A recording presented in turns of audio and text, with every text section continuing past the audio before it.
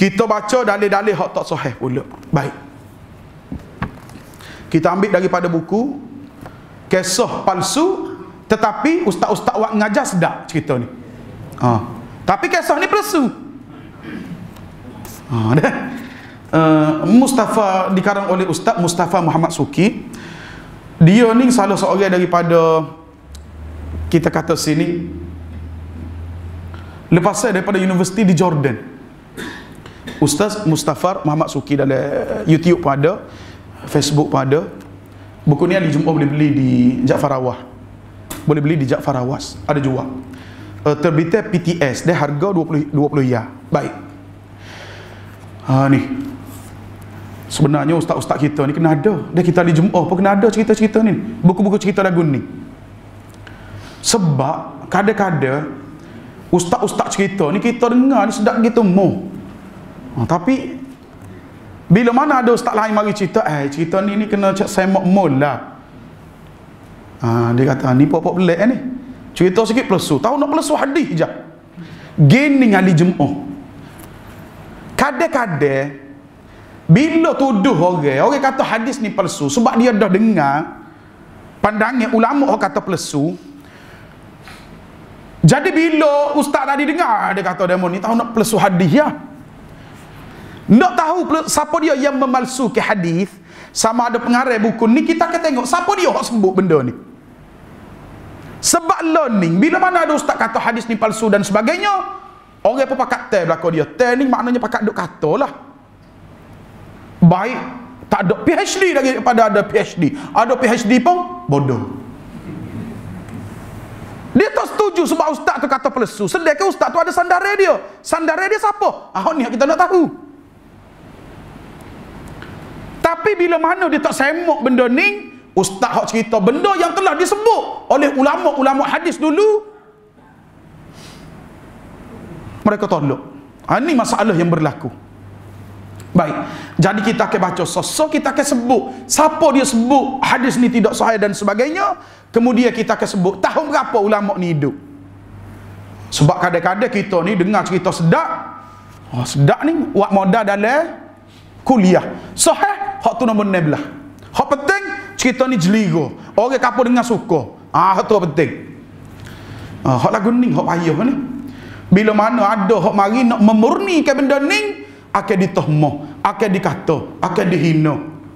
Akan dipersoal si je dia mengaji dulu guana. Eh takut pergi kelas dulu tidur sama. Ha. Ataupun pergi kelas dulu eh stay ambil periksa saja aku. Macam-macam lah se. Ha, start nak kata kat orang dia tu. Ha, dia start nak kata kat orang. Lagu tu cara dia. Baik. Dia kata sini, kisah ni kisah nombor 13. Tha'labah radhiyallahu an tajuk dia nya Tha'labah tidak membayar zakat dia kata Tha'labah bin Hatib yang kononnya miskin tak silap kita kita pernah dengar di Jumaat boleh tengok dalam kitab Fadailul A'mal hadis ni bab zakat dia cerita lagu mana kisah dia mula-mula Tha'labah radhiyallahu an dia ni orang miskin Semaya dengan Nabi sudah semaya tu coklat lalu. Sebab apa dia? Dia kata tak ada kain. Nak nak nak tukar dengan bini. Kita ingat lagi sebab kita mengaji-mengaji dulu peta-peta dengan semua ni. Tukar dengan bini. Akhir sekali dia minta ya Rasulullah doa kalau hamba ni kaya sikit. Berkali-kali dia minta. Akhir sekali Nabi doa. Akhir sekali Nabi doa. Ha, ni cerita dia. Baik. Jadi dia kata sini, Sa'labah bin Hatib yang kononnya miskin datang kepada Nabi sallallahu alaihi wasallam bagi meminta baginda mendoakannya supaya dia jadi kaya. Maaf hari Jumaat tak saya nak setu siapa-siapa. Kalau hari Jumaat boleh cari kitab Fadailul A'mal yang bertahqiq itu lebih baik pandangan kita. Itu lebih baik. Pandangan pribadi dalam masalah ni. Sebab banyak cerita ni kita ni dengar terlegok selalu. Masa dia muka kita orang awal. Bukan kerja kita nak cek ni. Tidak ada kemahiran, kadang-kadang tidak ada kemampuan nak selidik tu tadi. Jadi bila mana dengar tu email baca, dengar ustaz baca, orang awal dia akan terima. Orang awal dia akan terima. Sebab tu kita sebut, jadi lagu mana cara nak keluar daripada masalah ni? Kitab Fadailul A'mal dia ada sahih. Sahih dan dhaif Fadailul A'mal. Maknanya di takhrij, di cerita sesuatu. Hadis ni sahih ke dhaif, sahih ke dhaif supaya kita faham. Dia gini. Hadis Fadailul A'mal ni kalau hadis tu dhaif, ulama letak syarat dalam nak beramal dengan hadis dhaif. Dalam bab Fadailul A'mal. Jangan ada Fadilah A'mal tajuk dia. Kitab. Ulama letak syarat. Siapa dia di antara ulama letak syarat? Imam Ibn Hajar Al-Asqalani rahimahullah. Hak kita baca tak ada. Imam Ibn Ibn Hajar Al-Asqalani, Al-Syafi'i. Dia hak sebut. Dia letak syarat, dia kata kalau hadis tu dhaif dalam masalah fadailul a'mal, kita nak kata benda tu sunnah, boleh kata boleh? Ha. Mana dia? Dia ada 4 5 syarat. Nak kata benda tu sunnah, tak boleh. Kita nak itikad siapa dia buat, ada pahala ni. Ada pahala tertentu kalau buat ning boleh ning, tak boleh. Ha. Siapa setara tu, dia tak boleh nak royak siapa dia buat benda ning, memeh ha boleh pahala. Tak boleh. Nak royak ketak tak ketak syarat hadis-hadis dah dhaif bila mana kita nak ber nak beramal. Ah, sebab itulah kita kena jaga ma kena jaga molek. Sebab itulah pada kita, bila mana kita bertemu hadis tu dhaif, contoh, dalam masalah hadis ni tak dia dhaif, kita dah ada tiga daripada dalil, dua dalil Quran, satu dalil hadis yang sahih, menunjukkan ancaman kepada mereka yang tak sih waktu bik zakat. Dalam erti kata kedeku, tak sih waktu bik. Pada dengan hak tu je sebenarnya. Tak perlu nak sabit hal lain dah. Baik. Kemudian dia kata sini, dia tidak mahu membayar zakat. Lalu Nabi SAW mengutuk perbuatannya itu. Apabila Tha'labah bertaubat dan ingin mengeluarkan zakat, maka Nabi SAW tidak menerima zakat tersebut. Ha, Nabi tak terima dah. Dia taubat dah ni, Nabi tak terima. Boleh terima ke? Mana Jumaat? Boleh terima? Sedih kan dalam kitab kita tadi dikata melainkan orang itu betul? Bertaubat. Patut lagu mana dengan cerita ni pula? Ha, ni kemuskilah, kemuskilah. Duduk di mukaddimah cerita ni boleh nampak dah. Baik. Begitu juga setelah daripada wafat Nabi wasallam, dia ni hidup lagi zaman Saidina Abu Bakar radhiyallahu an. Zaman Saidina Umar, zaman Saidina Osman. Tiga khulafa ar-rasyidin al-mahdiyyin. Mereka tidak menerima zakat yang hendak dikeluarkan oleh Sa'labah. Kawin ni betul dah ni. Ketiga-tiga khalifah tak ditaksir terima berlaku. Dia kata kisah ini adalah palsu semata-mata. Kisah ni palsu. Kadang-kadang ada juga ustaz-ustaz royak. Apa salahnya kisah palsu?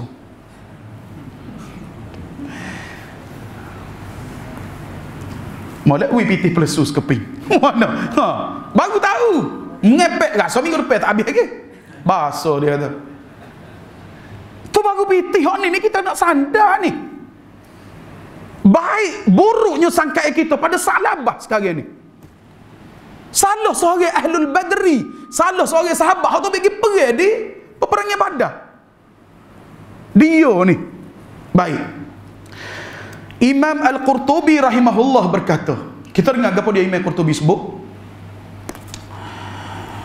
Imam Qurtubi ni salah seorang daripada ulama tafsir. Dia ada kitab tafsir dia, Jami' Ahkam Quran. 10 jilid dalam bahasa Arab.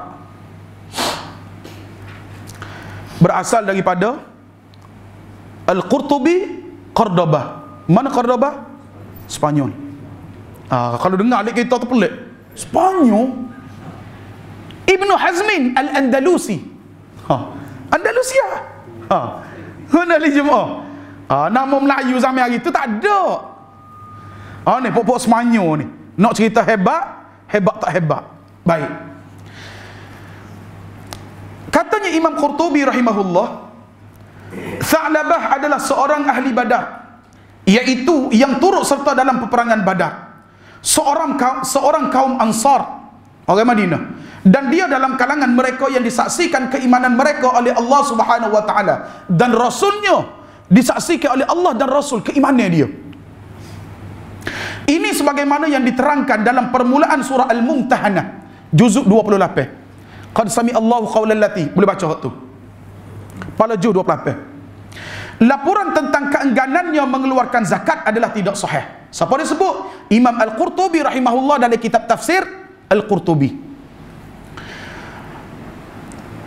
Imam Qurtubi rahimahullah dia kata sini wafat pada tahun 971 Hijrah. Ha. Maknanya bukan Ustaz Hak Sari dua ni sebut ni.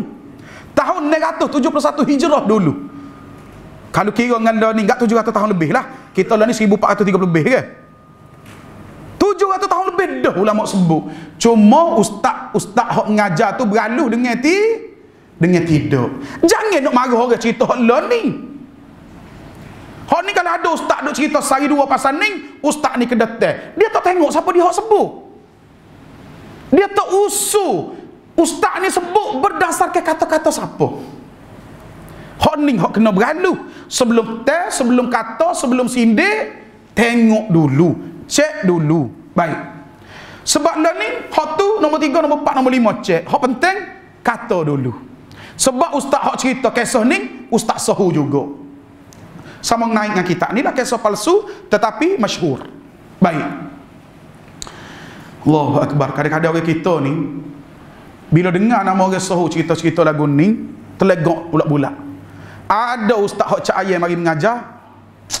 Demo ni siapa? Ada ah, start dah tu. Ini kesilapan yang berlaku. Sepatutnya dalam masalah ni cek dulu.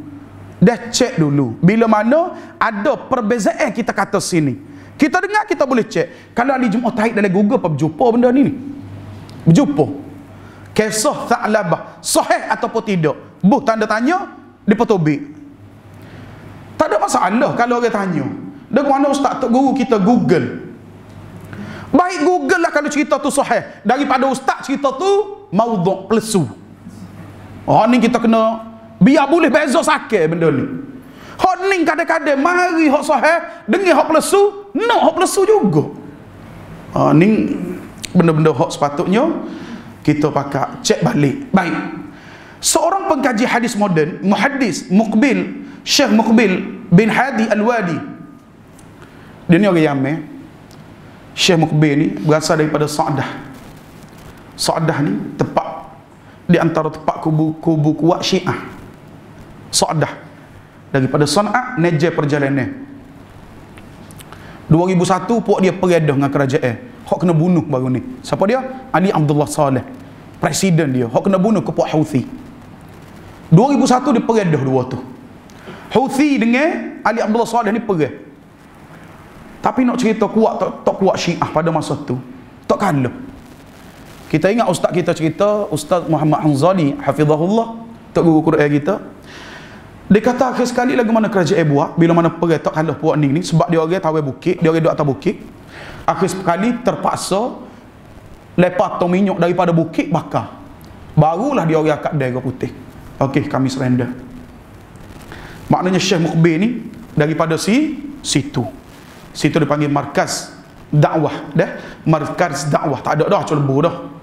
Bila mana Pak Houthi berkuasa tadi mana-mana pusat Darul Quran dia tempat-tempat anak-anak ngapa Quran dia bom tak tahu dia pasal sisik ke apa dia bom tadi Jumaat netuk dom Memang tak meninggal.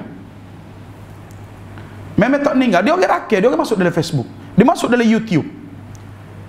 Mana-mana pusat sunnah tadi dia orang bom, tak meninggal gapo satu. Rumah Syekh dia bom gitu je. Ha. Ni bapak Syiah. Baik. Dia kata sini dalam kitab beliau As-Sahihul Musnad min asbabin nuzul menyatakan kisah Sa'labah yang enggan membayar zakat ditolak kesahihannya. Siapa dia hak tolak? Bukan Syekh ni tolak. Betul dia ni tolak tetapi berdasarkan pandangan para ulama. Satu, siapa dia di antara hak tolak? Ibnu Hazmin Al-Andalusi. Ibnu Hazmin tolak, dia ni wafat pada tahun berapa? Pada tahun 456 Hijrah. 456 Hijrah. Kalau ngalah ni kita lebih kurang 900 tahun lah. Terkebelakang kita ni. Maknanya ulama dulu dah se dah sebut satu. Yang kedua dia kata sini di antaranya Imam Az-Zahabi rahimahullah wafat pada tahun 748 Hij 48 Hijrah. 748 Hijrah. Lebih kurang 700 tahun dengan kita lah ni. Kemudian dia kata sini siapa dia? Imam Ibn Hajar Al-Asqalani. Wafat pada tahun 852 Hijrah. Tikah ni tahun juga dengan kita lebih kurang ni tahun 7 tahun. 900 hingga 700 tahun. Imam Ibn Hajar dah sebut benda ni. Di antaranya juga imam besar di dalam mazhab Asy-Syafi'i iaitu Imam As-Suyuti rahimahullah yang wafat pada tahun 911 Hijrah. Imam Suyuti pun sebut benda ni. Dan yang terakhir sekali dia kata sini di antaranya ramal lagi ni dia dia bawa hak mana ulama hadis hak besar-besar iaitu Imam Ibn Hajar Al-Haytami yang wafat pada tahun 970 73 Hijrah. Oh. Maknanya bawah tahun 1000 berlaku. Hak cerita start daripada 400 tahun sehingga 900 tahun lebih. Hak ni diambil nama ulama-ulama besar yang sebut bahawa cerita ni adalah tidak sahih. Dalam sanad hadis ini terdapat pelapor iaitu hadis yang dikritik sebagai lemah oleh Ali bin Yazid. Dia ni lemah. Maka Syekh Dr. Yusuf Al-Qardawi hafizahullah juga mengkritik kesahihan kisah ini di dalam kitab beliau yang terkenal kaifa nata'am kaifa nata'amalu ma'a sunnah an-nabawiyah oh Dr. Yusuf Al-Qaddawi baiklah kalau hak dulu kita tak ada nak baca hak dia ni pada lagi hidup lagi kita kata sini dia apa sebut dia kata bahawa ini adalah di antara yang tidak sahih baik kemudian hak ni hak ulama-ulama sebut kita nak tengok siapa dia ni pula ni Sa'labah ni hak orang duk cerita ya dulu siapa kala ni nak oyak Sa'labah ni satu ikon yang dahsyat dalam masalah zakat. Sebut bak orang tak siwak tobik zakat nama Nabi. Sa'labah selalu dah. Dia punya idea dia tu dalam korangnya Sa'labah. Kisahnya lagu mana? Nabi semaya, dia semaya dengan Nabi. Sudah semaya dia kelik di rumah, dia saling kain dia pergi ke bini dia. Bini dia pula semaya. Sehingga sahabat tanya, "Guana pula orang ni kelik ni?" Okay, kita guna hadis ni sedap ah. Hadis ni, bapa yang Nabi tegur tak ada nak ayat lagu mana? Sudah semaya kena berzikir dulu ngata iman. Ah. Ah, diguna hadis ni. Hadis ni semua ulama kritik dalam masalah ni. Situ siapa yang dia nak? Bila mana kelik di rumah tak ditanya bapa, akhir sekali cerita bahawa dia ni tak ada, ada kain pun selala, selatu je waktu dia dengan bini. Akhir sekali minta, ya Rasulullah, doalah ke hamba, biar hamba ni kaya sikit. Nabi tak say. Dua tiga kali minta akhirnya Nabi berdoa. Sehingga diberi kurnia kaya. Bila kaya, kambing kau banyak. Kau kambing kau banyak. Akhir sekali duduk jauh dengan masjid kau kambing banyak ni. Ah ni cerita sedap ni. Ah cerita gini sedap dia Allah. Baik. Jadi ahli Jumaat dia sebut sasa. Dia kata Tha'labah bin Hatib adalah seorang sahabat yang ikut dalam peperangan Badar sebagaimana yang dinyatakan oleh siapa dia sebut ni? Dia ni adalah Ahlul Badr. Pertama, oleh Imam Ibn Hibban dalam kitabnya Al-Thiqat. So, yang kedua, oleh Imam Ibn Abdul Bar yaitu dalam kitabnya Al-Isti'ab fi Ma'rifatil Ashab. Yang ketiga, Imam Al-Hafiz Ibn Hajar Al-Asqalani dalam kitab Al-Isabah, Al-Isabah. Beliau berkata Tha'labah bin Hatib adalah sahabat yang ikut hadir dalam peperangan Badar. Dua kitab ni di antara kitab yang menghimpunkan kisah para sahabat. Selain daripada kitab yang masyhur oleh Syekh Al-Kandahlawi di antaranya Al-Isabah fi ma'rifatil ashab dan kita nak kenal para sahabat ini di antara kitab satu. Yang kedua al-isti'ab. Baik. Kemudian dia kata sini beliau berkata, siapa dia Ibn Hajar Al-Asqalani dia kata Tha'labah bin Hatib adalah sahabat yang ikut hadir dalam peperangan Badar. Ketiga, Imam Al-Qurtubi rahimahullah berkata, Tha'labah adalah badri, orang yang ikut menyertai dalam peperangan Badar. Sahabat yang Allah Subhanahu wa taala dan rasulnya menyaksikan tentang keimanannya. Manakala yang dilaporkan tentang beliau tidak membayar zakat adalah laporan yang tidak benar. Boleh tengok dalam tafsir Al-Qurtubi, surah Al-Mumtahanah, juzuk 28. Nabi wasallam menyatakan tentang ahli Badar Iaitu sabda Nabi tidak akan masuk neraka seseorang yang ikut serta dalam peperangan Badar dan perjanjian Hudaibiyah. Hadis ni adalah hadis direkodkan oleh Imam Ahmad dan hadis ni sahih. Semua kisah-kisah keburukan Tha'labah iaitu seorang sahabat Nabi wasallam yang mulia maka tidak sepatutnya untuk kita sebarkan. Sedangkan beliau seorang yang mulia wallahu a'lam. Jelas di jemaah dah dalam masalah kisah Tha'labah. Comel juga di jemaah kalau ada ustaz-ustaz kita kata sini hok boleh baca buku ni. Supaya apa dia? Supaya kita boleh beza. Sebab banyak sebenarnya kisah-kisah hok palsu lagu ni. Banyak lagi sebenarnya. Bak bersama dengan isteri kira hari pun ada. Oh, hak tu hari kita pernah betul mata baca tu. Baik kau gua mana Allah Akbar. Macam-macam. Dia ada dua tiga putih buku-buku ni. Cuma semua buku nipis buku tak tebal. Kalau boleh dibaca lah kita tukar. Mana-mana kita kata sini buku-buku yang banyak sangat hadis-hadis daif baik kita baca hak ni dulu. Lepas tu baru baca hak tadi. Baru kita boleh beza mana yang daif mana yang palsu dan juga mana cerita yang sahih ataupun ha ataupun hasan. Baik. Dalil kewajipan berzakat ni insya-Allah kita sambung pada minggu pada minggu hadapan dia insya-Allah insya-Allah. Wallahu alam. Apa yang baik itu daripada Allah Subhanahu wa taala yang lemah itu daripada diri saya sendiri. Aku qauli hadza wa astaghfirullah azim li wa lakum. Assalamu alaikum warahmatullahi wabarakatuh